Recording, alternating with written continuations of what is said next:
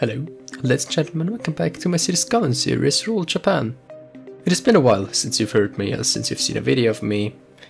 Nearly two months, I think it's actually more than two months at this point. I think it might be two months or one week or something like this. A lot has happened, and yeah, I'm finally back. And I'm finally back in the hustle of building the city, and yeah, what happened? First of all, I had some technical problems which were solved after about two weeks. I had the problem that I couldn't open my safe, and the reason for this problem was ma mainly was because I didn't have a big enough page file because I didn't have enough space on my C drive where I have Windows installed, so I was kind of like had to work a way around this, and in the end it worked out quite fine. It is now working again. I have 1.5 terabyte on an SSD um, M M.2, so this should be enough for the next several years. would years, I would assume. And yeah, then I got the safe running, and then school stress started, and COVID started all over again. And another very positive thing for me, well, COVID was positive, but another positive aspect of this is I started to take commissions over at Fiverr. I'm now officially a seller of 3D products, 3D models, and commissions for them. And I already had several ones of them, and I'm already making money with this, so I now have at least some kind of an income, although I still live by my parents, I kind of like want to be independent at one point, so this is a very big step for me and this is what I did the last two months basically, so sorry for that.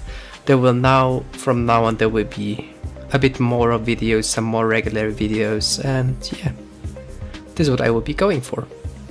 What we are doing today are suburbs and these suburbs will be located in the north of our downtown they will not only be kind of like suburbs, they will also be have kind of like the out outer areas of the downtown, and they are kind of like the small the, the, smaller skyscrapers just like they are not so farly spread anymore.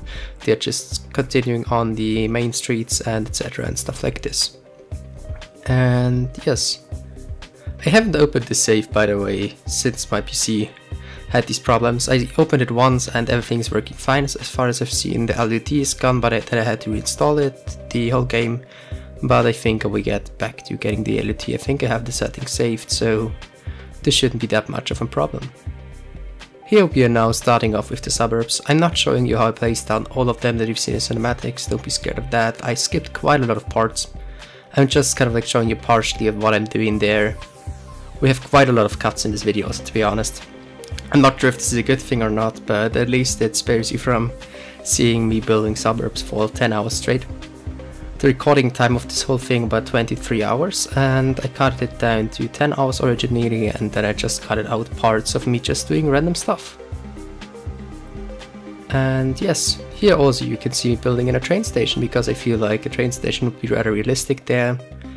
And this one will be connected later up, it will be going into the east of the map it might even be connecting up to the train station that we have in our small rural village. That is quite far away from this downtown, but we will soon will be there where we will be filling in the spaces between these two these two cities, these two well this village and this city. This might actually be one of the next projects of mine that I will start to fill in these spaces so that we kind of like have an at least somewhat countryside there because right now I haven't worked anything on the countryside I just kind of like worked out how to do the cities and stuff like this and now that would be a hard thing for me to kind of like achieve the good perfect border between the two things. Also, I have to say a bit of a thank you for you guys for being so patient because well the last video is quite some time was was quite a long time ago and I received a lot of new subs. I think I received 30 subs or 40 subs while I wasn't there, so hello to all, new, all the new guys here. Thank you very much for your support, support and yeah, I would try to go back to at least somewhat regular up, up, uploads. I would try to go for like one video every two weeks or something like this so that I can keep the quality up and at the same time give you something to watch. What I'm doing here is now just that I have already filled in some spaces, now I need to do some services. I just use the cubes for now. We will be doing some big service things later down the line, but well, yeah. But it will take some time to be honest. That's what I thought there right now, how I should say this, but it will take some time to be honest. this is also one of the longer videos. It's kind of like a 27 minutes video, so I hope this is fine for you. It is like, I didn't want it to scrap too much and I wanted to upload something rather soon than late, so it was like, yeah, okay. I will now make this. It is right now Sunday at 16 o'clock in the in the afternoon. Afternoon, yeah. And let's see what I will upload this. It might be even today, might be tomorrow. But yeah, we will see about that. What I'm doing here is just a very usual grid. It is something that I mostly don't like to do, but for the suburbs, the suburbs are simply grids. I can't do anything about that, they are grids, I can't change this, I need to use kind of like grids for them. And this is also what I was am kind of doing here, and it is not too bad I think. It, I mean it is a grid, you know, but it is not that much of a bad grid. I'm um, kind of trying to make it a bit more natural, it, it has a lot of straight straight areas but also a lot of curves, as I feel like this is important for these kind of areas. And yeah, here we are now, we'll be starting with this school. We'll be detailing it with simply a soccer field in the backyard and it is kind of like this very big noticeable area in the whole suburbs because it's the only big lot we have here basically together with a parking lot. The parking lot will be built in this triangular space as I wasn't sure what I should build there as it is a triangular space and I'm not too good with stuff like this so I thought about what are my possibilities. One I could just kind of like add in streets and make it kind of like normal suburban area, I could make something interesting out of it. And I was feeling like we haven't done a single custom parking lot in this series so far. So it's like, yeah, let's go for that. And I have to say, I'm pretty happy about it. I'm, I feel like it is a cool looking thing and I think I should be doing this in more areas. And yeah, also I have to say thank you very much for the support from the City Skylines City Skylines uh, community manager, how they are called. They re reshared and retweeted a, a, picture of mine from the last episode, and this gave me quite a lot of a boost. So thank you guys over there if you watch this, if anyone of you is watching my videos. And yeah, really, really appreciate it. Here you can now see me, like kind of like starting with the parking lot here. First of all, I wanted to have everything concrete. Later on, I will be adding in some bushes and some grass as I feel like this is making a city look interesting and this make a city also better from different aspects. One of these aspects that I would love to talk about is simply the, the temperature of the city. Because if you kind of like live in a big city, you might know that it's quite warm when you have a lot of concrete. The air is pretty warm, the air is kind of like heating up pretty, rather quickly, and this can be prevented. And the way that you prevent something like this is by simply using some more trees and bushes. I mean, yeah, you can surely only use some more green spaces, but green spaces don't do as much as trees and bushes do, so this is a thing where I have to say I'm pretty glad that I'm living in Vienna, uh, simply out of the fact that I'm living here, we have a lot of a lot of parks in Vienna and still a lot of trees and backyards, and this still give still cools the city down quite a lot. So we have it rather we are rather a city with more how should I say this? It is kind of like a more livable space, I would say, and with a lot of livable space. Also, what I love to see is Paris announced they try to do this in the next, I think, after 2030, they want to be on the second or first place of the greenest cities in Europe. So we have another city where they're kind of like trying to do this, and they will also try to like convert some of the big main streets into more more more kind of like how should I say it? The city should be more focused on people on walkability. So basically, pedestrians should have kind of like more rights in cars too. And if you don't know, Paris has quite a big of a traffic problem, not only because of the traffic inside of the city, but also the traffic that wants to go through the city or inside or outside of the city. And this leads to a lot of traffic on some of the main roads. And they kind of like want to prevent this would be interesting to see how they would do it. I only saw a short video of kind of like advertisement video of the whole campaign where they showed kind of like yeah you want to get rid of their some of the lanes as they have several six lane roads. They want to kind of like fix in some of the spaces there and just get rid of some lanes and just make some pedestrian walkability there. And also some bicyclist infrastructure which I think is a rather cool idea. I think a city should be built for the people that live in there and not only for the transport of cargo inside of the city and at the interest of the shops, but also for the people, as the people are simply the people that live in this area and have to maintain it in some way. But yes, what I'm doing there in the background is not a markings. These ones are for pedestrian walkways, so that you can walk safe there without getting run over by a car when you try to get to your car. And yes, this is what I did there. It makes it quite close, but I think it's still okayish. And yes, I'm pretty happy with this. This was my, this was also one of my first tries on how to make a Japanese parking lot, and I feel like yeah, I did a good job there. I think this might work out work out quite well. Also, I'm pretty pretty sorry if this the audio quality isn't like it used to. It will be better in the next episodes once I get the hang of it again. I wasn't doing this for several months now, so I'm very sorry for this. But yeah, I'm now trying to get back to my regular regular uploading. Regular uploading cycle I would say because I won't make it like weekly like I did before. It will be most likely in the in like two weeks gap from each other. As this is also not only simply for me easier so that I don't have to have to hurry to upload something it is also better for views and better for subscribers because I kind of like tested I get a bit more subscribers when I wait until I upload the videos. Basically, I have one video now, wait two weeks, then I get the next one out. Then I get gain more subs by this than I gain by making one video every week, and I have only half of the work. So it is kind of like this thing for me that it is simply also kind of like extending my reach in this in this kind of thing. Here, as you can see, I'm using these networks excessively. I love them they are so great. They are simply such a cool thing to use, I feel like. So, yes, what I'm doing there is adding in a small monorail part. This is a thing that, if you know a bit about the modding scene, there are these. Wait, let me actually see how they are called.